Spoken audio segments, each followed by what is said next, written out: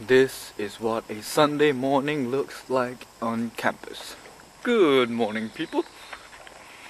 As you can see, I'm not in my room this time, and um, reason for that is because I'm heading to church right now. I think I might be running a bit late, but um, I think I should be alright. But yeah, so as I was saying, there's just nobody here. Peaceful, empty streets on campus, which is good. I don't know. I, like peace and quiet sometimes. Not all the time, but sometimes. Probably need to get some cough sweets or something, you know?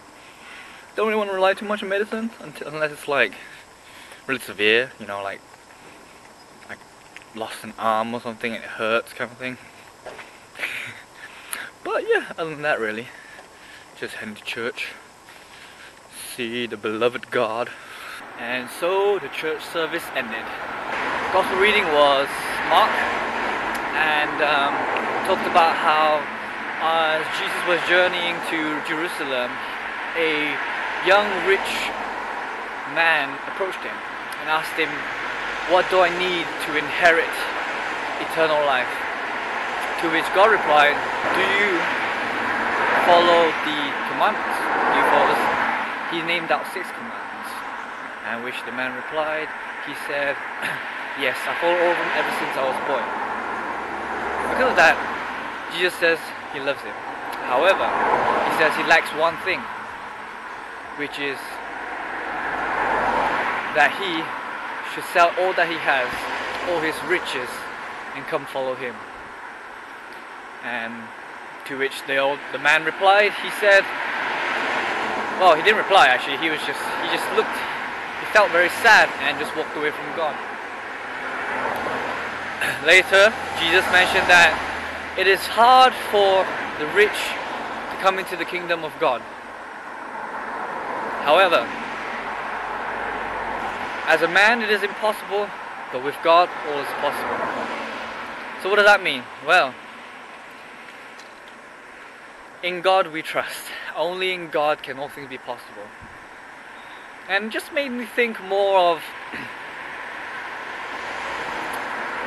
more of how wonderful God is really.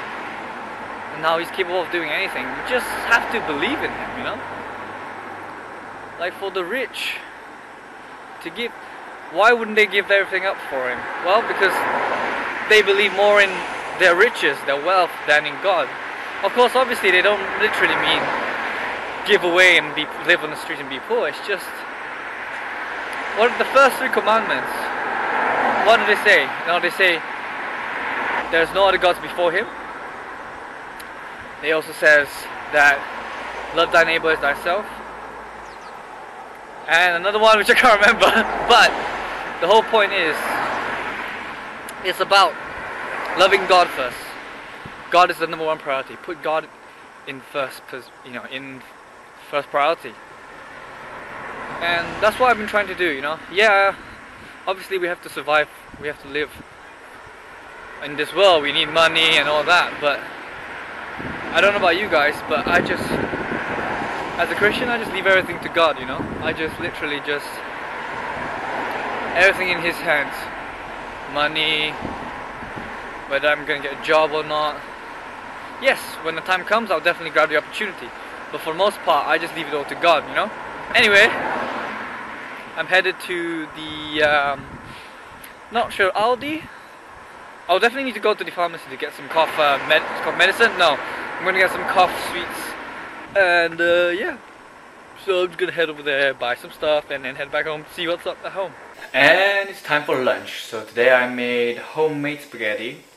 Yes, well, I did make the sauce myself. It's homemade. And yeah, so basically spaghetti, cheese, and the bolognese, beef bolognese. And that's what it looks like. Munching time.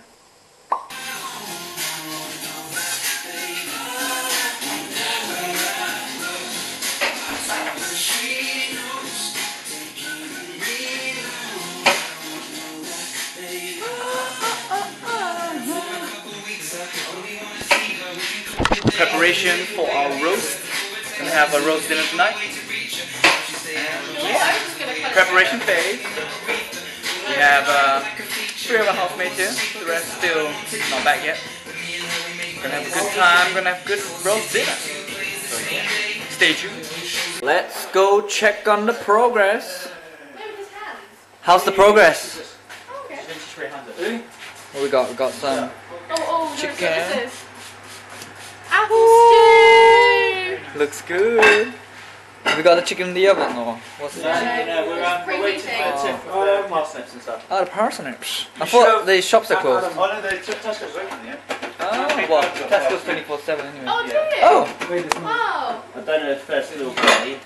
oh, Adam.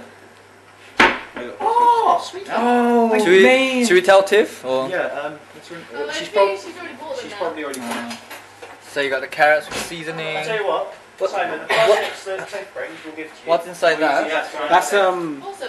So Is that a you've got all chicken? this- Adam. Is What's inside that? Chicken's in there, covered in salt and pepper. Salt and pepper. Nothing, nothing spectacular. Potatoes? Are we gonna do the potatoes? Yeah, we got um, Potatoes. potatoes. Cool. We got some veg, chicken, potatoes, and we got gravy. Is it thick? Yeah, really thick. Hell yeah. Amy's doing the Yorkshire pudding. I won't stop, yeah? I'm so hungry, but I need to take the picture, so I can't eat it yet. Take a picture. And then this guy over here ate the chicken and cheated as well.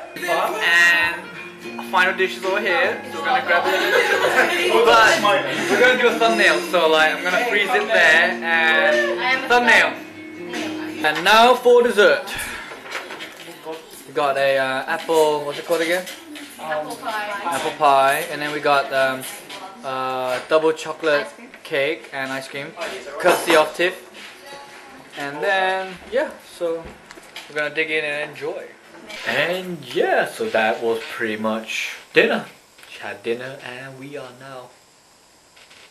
We all had a good chat, chill, watch some funny videos, and um, now we're all tired. I'm gonna probably go to bed.